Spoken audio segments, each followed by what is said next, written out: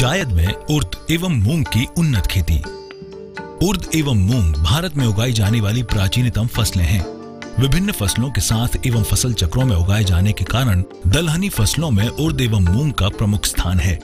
भारत में इनकी खेती दलहनी फ़सलों के कुल क्षेत्रफल के लगभग 30 प्रतिशत भाग में विभिन्न ऋतुओं, खरीफ, रबी एवं बसंत में मैदानी क्षेत्रों से लेकर समुद्र तल से 1820 मीटर की ऊंचाई तक होती है। भारत में उर्द एवं मूंग की खेती लगभग 60 लाख हेक्टेयर में की जाती है।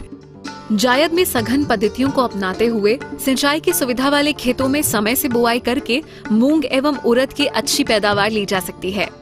पिछले कुछ वर्षों में मूंग एवं उड़द की शीघ्र पकने वाली प्रजातियों के विकास होने से जायद में इसकी खेती सफलतापूर्वक होने लगी है। जायद में बीमारियों का प्रकोप भी कम होता है। तथा शीघ्र पकने और अधिक उपज देने वाली रोधी प्रजातियों के साथ सघन पद्धतियों को अपनाकर अधिक उपज प्राप्त की जा सकती है। भूमि का चयन एवं तैयारी। मूंग एवं उर्द की खेती विभिन्न प्रकार की मृदाओं में की जा सकती है, लेकिन सबसे उपयुक्त तो भूमि दो मठ होती है। मूंग एवं उर्द की खेती के लिए दो तीन हैरो लगाकर या कल्टीवेटर करके पाटा लगा देना चाहिए। बुवाई से पहले खेत में पर्याप्त नमी होना आवश्यक है, जिससे अच्छा जमाव हो सके। प्रजाति का चुनाव अच्छी उपज लेने के लिए कम समय में पककर तैयार होने वाली निम्न प्रजातियाँ उपयुक्त रहती हैं। मूंग की प्रजातियाँ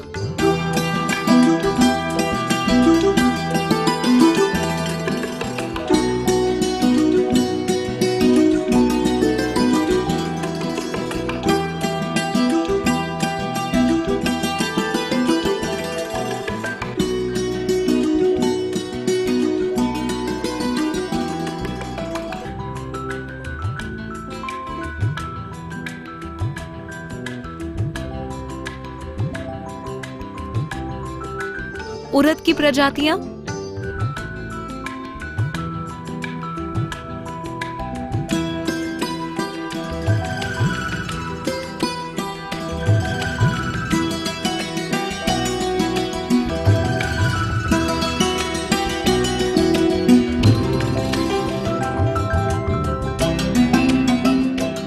बुवाई का समय। उर्द की बुवाई के लिए 15 फरवरी से 15 मार्च तक उपयुक्त समय है, तथा मूंग की बुवाई 15 फरवरी से अप्रैल के प्रथम सप्ताह तक की जा सकती है। देर से बुवाई करने पर गर्म हवा एवं वर्षा होने से फलियों में नुकसान हो सकता है। अप्रैल के प्रथम सप्ताह में बुवाई के लिए जल्दी पकने वाली प्रजाति सम्राट अधिक उपयुक्त है। बीज की मात्रा।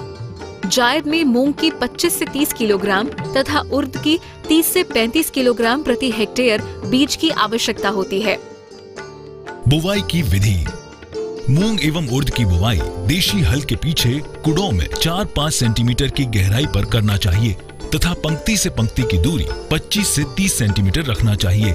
इसकी बुवाई सीड ड्रिल के द्वारा भी आसानी से की जा सकती है। बीज शोधन। उड़द एवं मूंग के बीजों को 2.5 ग्राम थीरम एवं 1 ग्राम कार्बन डाजिम से प्रति किलोग्राम बीज की दर से शोधन करना चाहिए। इससे प्रारंभिक अवस्था में रोग शोधक क्षमता बढ़ती है और बीज का जमाव अच्छा होता है, एवं पौधों की संख्या में कमी नहीं होने पाती। बीज उपचार। उपयुक्त बीज को शोधित करने के बाद एक बोरे पर फैलाकर बीज को राइजोबियम कल्चर से उपचारित करें, जिसकी विधि इस प्रकार है। आधा लीटर पानी में 50 ग्राम गुड़ घोल लें। इस घोल में 200 ग्राम राइजोबियम कल्चर का पूरा पैकेट मिला दें। इस मिश्रण को 10 किलोग्राम बीज के ऊपर छिड़क कर हल्के हाथ से मिलाएँ, जिससे बीज के ऊपर एक हल्की परत बन जाए। इस बीज को छाया में एक से दो घंटे तक सुखाएँ, तत्पश्चात बुवाई करें। उर्वरकों का प्रयोग। मूंग की अच्छी पैदावार के लिए प्रति हेक्टेयर 10 किलोग्राम नत्रजन 45 किलोग्राम फॉस्फोरस तथा 20 किलोग्राम गंधक बुआई के समय कूड़ों में देना चाहिए।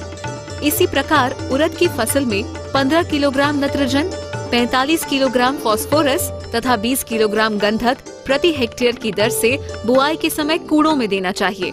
दलहनी फ़सलों के लिए फॉस्फेट पोषक तत्व की अत्यधिक आवश्यकता पड़ती है।